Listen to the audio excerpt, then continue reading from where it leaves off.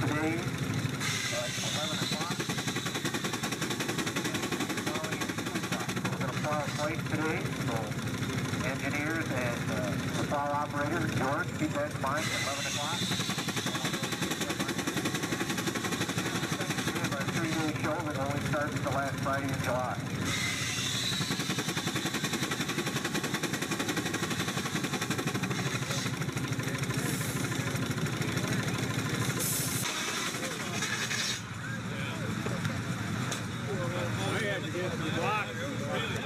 I think we should sack the wood over here. Yeah, right.